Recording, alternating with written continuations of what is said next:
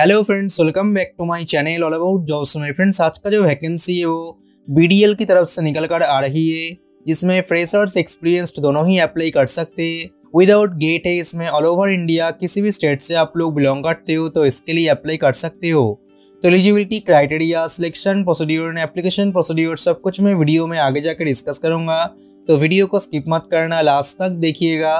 तो नेक्स्ट चलते ऑफिशियल इंटिवेशन की तरफ़। तो फ्रेंड्स ये है इसका ऑफिशियल नोटिफिकेशन जो आप लोग देख पा रहे हो कि भारत डायनामिक्स लिमिटेड की तरफ़ से निकल कर आ रही है, जो एक मिनी पीएसयू है और ये ministry of defence government of India के अंडर आती है। नोटिफिकेशन स्टार्ट करने से पहले अगर फ़र्स्ट टाइम चैनल पर विज़िट कर रहे हो तो चैनल को सब्सक्राइब करके बेल आइकन को प्रेस कर दो ताकि आप लोगों को आने वाले सारी अपडेट मिल सके और वीडियो को लाइक और दोस्तों के साथ रोज शेयर भी कर दिया करो यार, ताकि हमें मोटिवेशन मिले।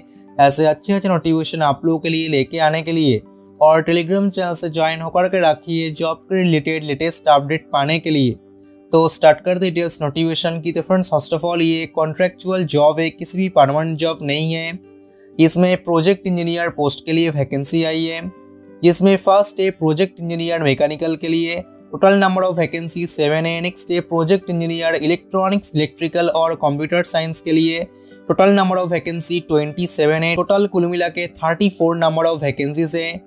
क्वालिफिकेशंस की बात करें तो फ़र्स्ट है प्रोजेक्ट इंजीनियर मैकेनिकल के लिए, जिसमें अप्लाई करने के लिए अगर आप लोग mechanical industrial and production mechanical production and tool production production technology manufacturing production and industrial manufacturing technology aerospace और एरोनॉटिकल डिसिप्लिन में से चार साल का बी टेक की हो तो उसके लिए अप्लाई कर सकते हो। उसके अलावा अगर आप लोग इंटीग्रेटेड डुअल डिग्री यानी कि B B tech plus M E M tech किए हो तो भी इसके लिए एलिजिबल हो, उसमें अप्लाई कर सकते हो। और उसके साथ आपके बी बी टेक में मिनिमम सिक्सटी परसेंट मार्क्स होनी चाहिए।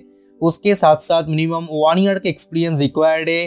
बट अगर आप लोग एक साल का अप्रेंटिसशिप किए हो तो उसको एज ए एक्सपीरियंस कंसिडर किया जाएगा। यानी कि अगर आप लोग फ्रेशर्स कैंडिडेट्स हो और एक साल का अप्रेंटिसशिप किए हो तो भी आप लोग इसके लिए एलिजिबल हो, उसमें अप्लाई कर सकते हो। नेक्स्ट है प्रोजेक्ट इंजीनियर इलेक्ट्रॉनिक्स के लिए, जिसमें अप्लाई करने के लिए अगर आप लोग electronics electronics and communication electronics and instrumentation electronics design and technology applied electronics electronics and telecommunication और इलेक्ट्रॉनिक्स एंड कंट्रोल डिसिप्लिन में से चार साल का बी टेक या तो इंटीग्रेटेड डुअल डिग्री यानी कि B tech plus M tech किए हो तो इसके लिए अप्लाई कर सकते हो। और उसके साथ आपके बी टेक में मिनिमम सिक्सटी परसेंट मार्क्स होनी चाहिए। उसके अलावा मिनिमम वन ईयर का एक्सपीरियंस रिक्वायर्ड है।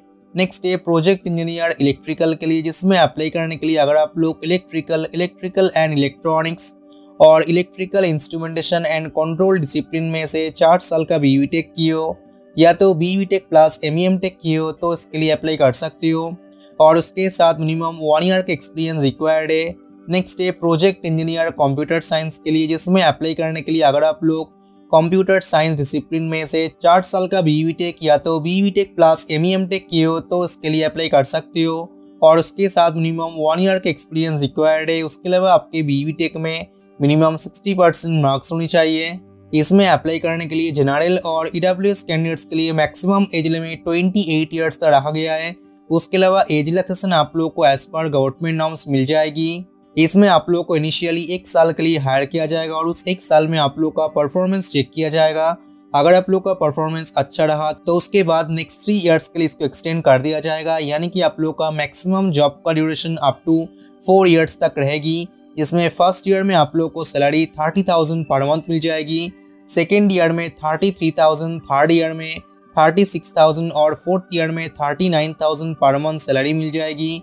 उसके साथ साथ आप लोग को ten thousand per year medical allowances वगैरह प्रोवाइड किया जाएगा।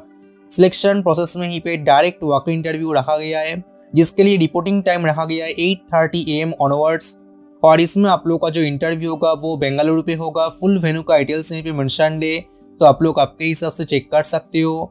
जब आप लोग इसमें इंटरव्यू देने के लिए जाओगे तो उस टाइम आप लोगों को कुछ डॉक्यूमेंट्स का ओरिजिनल और one set self attested photocopy साथ में लेके जाना होगा, जिसमें फ़र्स्ट आप लोग को इसका एक ऑफिशियल ऑफलाइन फॉर्म है, जिसको अच्छे से फिल करना है।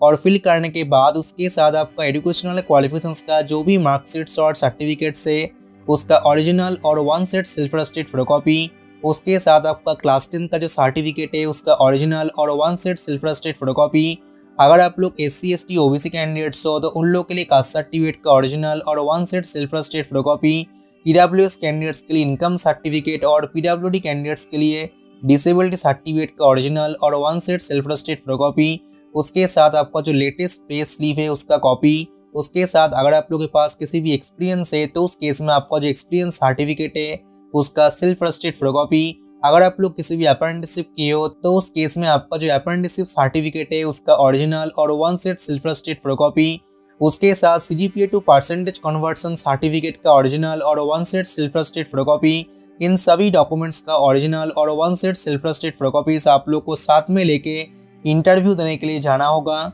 इसमें आप लोग का इंटरव्यू होगा 16 सितंबर 2023 और 17 सितंबर 2023 वेटेज की बात करें तो क्वालिफिकेशंस के ऊपर डिपेंड करके आप लोग को 75 मार्क्स प्रोवाइड किया जाएगा। एक्सपीरियंस के ऊपर डिपेंड करके आप लोग को 10 मार्क्स और इंटरव्यू आप लोग का 15 मार्क्स का होगा। इसमें अप्लाई करने के लिए किसी भी एप्लीकेशन फ़ी पे नहीं रखा गया है। हर एक कैटेगरी के लिए फॉर्म कम्प्लीटली फ्री है। तो फ्रेंड्स ये इसका complete details notification I hope आप लोग को हर एक इन्फॉर्मेशन समझ में आ गया होगा।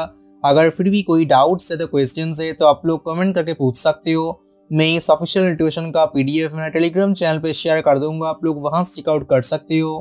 टेलीग्राम चैनल का लिंक और इसमें अप्लाई करने का लिंक आप लोग को वीडियो के डिस्क्रिप्शन बॉक्स से मिल जाएगी। तो बस आज के लिए इतना ही। तो मिलते हैं नेक्स्ट वीडियो पे एक नया ज़रूर के साथ। तब तक के लिए गुड बाय थैंक यू